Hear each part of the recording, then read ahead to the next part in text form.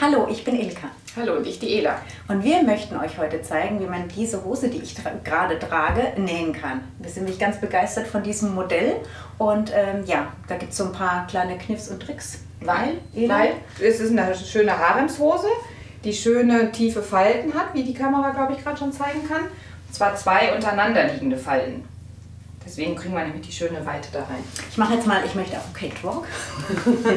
und je, fließ, ihr seht, je fließender dieser Stoff ist, desto schöner fällt auch diese Hose. Also deswegen, das ist wichtig, die lebt und fällt durch den Stoff.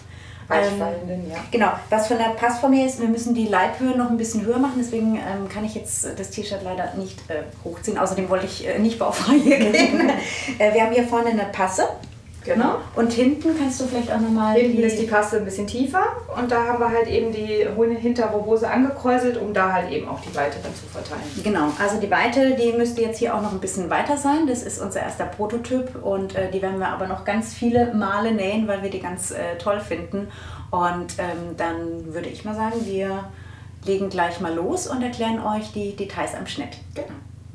So, jetzt haben wir diese schöne Hose ähm, an mir gesehen. Jetzt äh, wollen wir mal wissen, wie die geht. Ich habe zu Ela gesagt, sie soll mir die Hose mal in klein gradieren, weil in groß natürlich Riesenteile und dann kann man es oftmals nicht so gut äh, sehen.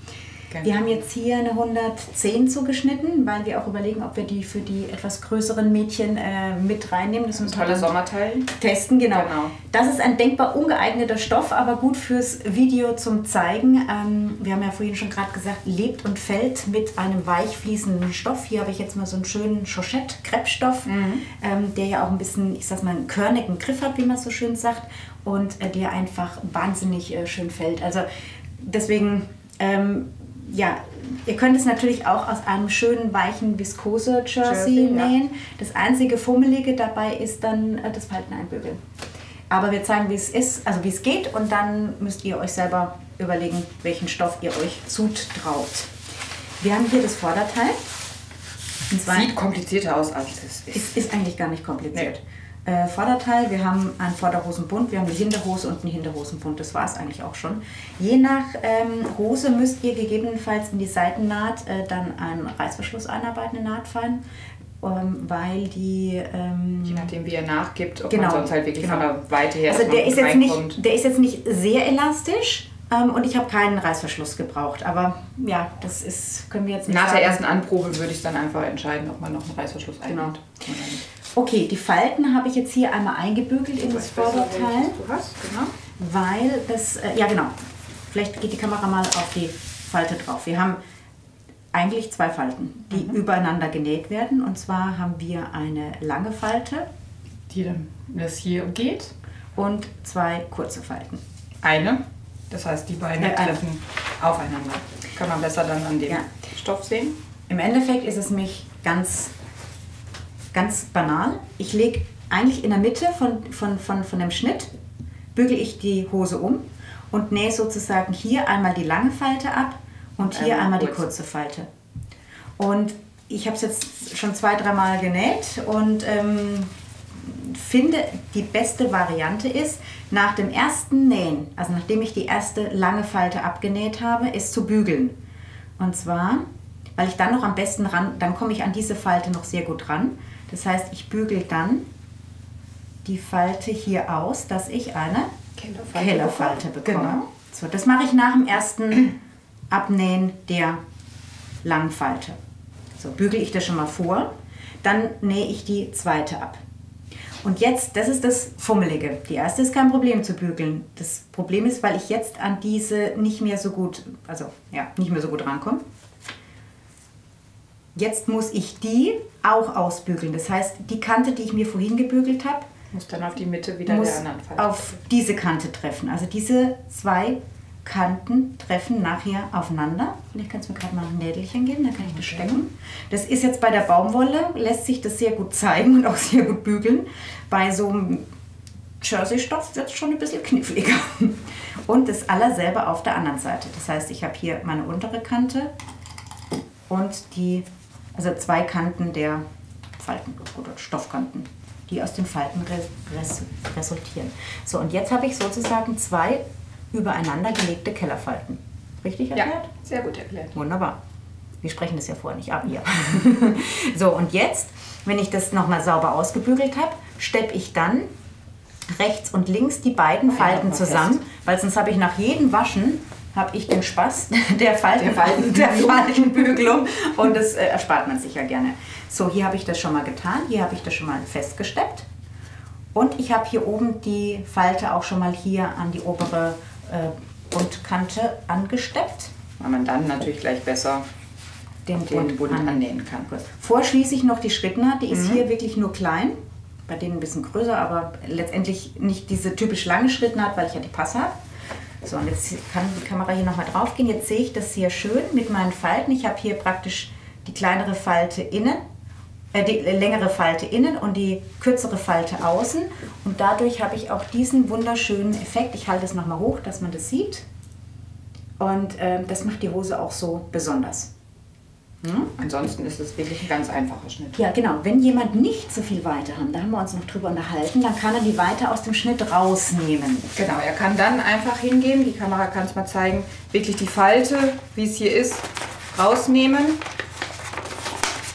Je nachdem, wie viel man rausnehmen möchte, ob man die ganze Weite rausnehmen möchte, dann muss man auf jeden Fall mit einem Reißverschluss arbeiten oder vielleicht nur eine schmale Falte.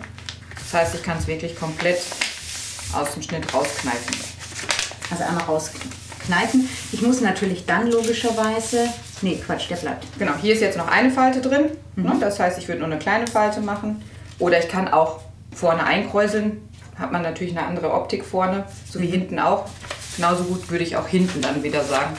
Wenn ich vorne kneife, auch hinten. Auch hinten kneife, weil sonst hat man so einen hinten viel Weite, vorne wenig Weite. Also angenommen, ich kann, nehme jetzt vorne eine Falte raus, dann nehme ich zweimal die Weite, also das sind jetzt dann 8 cm. Genau. Dann die, würde ich hier auch hinten dann zumindest ja. rausnehmen. Genau, kannst auch hier auseinanderschneiden, übereinander legen, das geht auch. Also hier kannst du auch noch den Schnitt ein bisschen abändern. Du kannst auch die Falten kleiner machen, also ich sage jetzt mal zweimal drei oder zweimal, also da kannst du auf jeden Fall ein bisschen variieren. Und ähm, dann haben wir, das war es eigentlich auch schon das Komplizierte, was heißt das Komplizierte, wo man ein bisschen bisschen knifflig äh, ja, bügeln muss. So, das ist das hier. Wie schon gesagt, dann wird hier der, die Passe vorne angenäht. Das ist auch nicht schwierig, das machen wir dann gleich. Hinten hast du es ja auch schon so weit vorbereitet, dass genau. wir die Weite eingekräuselt haben. Kleiner, kleiner Tipp noch, ähm, also es muss ja viel Weite eingekräuselt werden. Das heißt, du kannst jetzt entweder ein Gummiband nehmen und draufnehmen, also Gummiband auf die Weite von der Passe mhm. abmessen sozusagen auf das ganze Hosenteil annähen, dass es sich zusammenzieht. Äh, ich habe jetzt mal hier ganz klassisch ähm, großen Stich eingestellt, nicht verriegeln am Anfang und am Ende und dann kann man hier wunderbar am Unterfaden ziehen. So, Vorführeffekt. Ich halte es hier nochmal, damit wir den Faden nicht rausziehen. Danke. So, hier kann ich jetzt wunderbar einkräuseln. Und zwar, was dann ein guter Tipp bei der Weite ist, steckt euch die Mitte von beiden Teilen fest und dann könnt ihr links reinziehen und rechts reinziehen und dann, dann ist es ein bisschen einfacher vom Kräuseln her, ja. finde ich jetzt. Mhm. So, das werden wir dann auch gleich an der Maschine annähen. Dann habe ich nämlich eine Hinterhose und eine Vorderhose. Dann werden die zwei Seiten geschlossen und dann zeigen wir einmal noch kurz die Belegverarbeitung, weil die ein bisschen anders ist als äh, üblich. Und dann ist die Hose eigentlich auch schon fertig. Also gehen wir an die Nähmaschine. Gut. Okay, jetzt sind wir hier an der Nähmaschine. Wir haben jetzt die ganze Weite eingekräuselt und auch schon mal ein bisschen festgesteckt. Ich mache es immer so, dass ich das Gekräuselte dann jetzt in der Nähmaschine nach unten lege, weil dann der Transporteur auch wieder ein bisschen mehr helfen kann. Und ich kann es nochmal ganz gut nachschieben auf die passende Weite. Genau, mit, den Hand, mit der Hand kannst du da auch mal ganz gut reingehen. Ne? Das genau. ist auch so ein ganz guter Tipp. Das ist eigentlich immer noch ganz gut. Ja, wir haben eine neue Maschine. Wir genau, jetzt ist wieder was anderes hier. Alle dran gewöhnen, aber die ist super. Mal, hier kannst du deine Geschwindigkeit einstellen. Fragen, ob man da was verstellen kann. Sehr gut.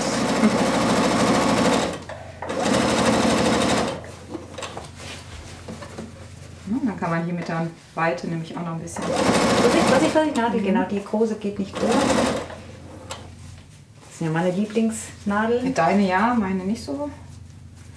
Die sind im Tacken zu groß.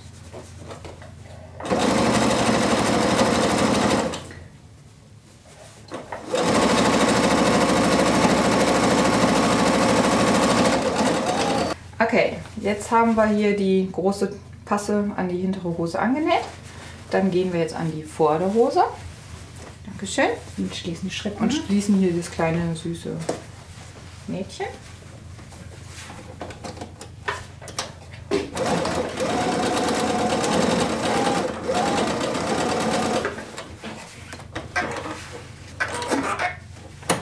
So, und dann wird hier die Passe sozusagen hier einmal drauf genäht. Genau.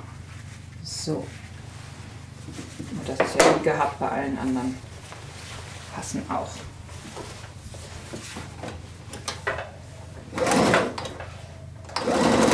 So, Vorderhose mit Passe, Hinterhose mit Passe. Jetzt gehen wir hin, können alles schließen, die Seitennähte und auch die Schrittnaht. Genau. Zeigen es mal an einer Seite. Eine Seite lassen wir offen, weil wir hier vielleicht einen Reißverschluss anarbeiten müssen, beziehungsweise ist ein Musterteil. Wir wollen ja wissen, wie sie passt und dann muss das Kind noch reinkommen, weil der Stoff nicht elastisch ist. Genau.